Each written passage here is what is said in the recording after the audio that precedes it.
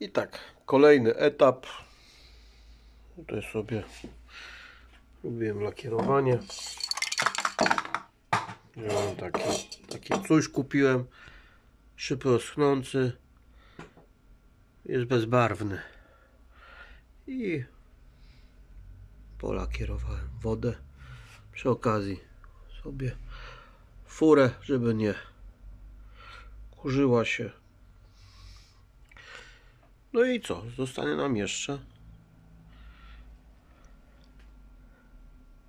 żeby się nie kurzyło, to zrobimy gablotkę. Teraz obcinam nożykiem.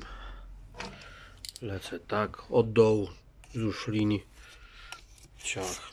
I tyle. Pozdrawiam.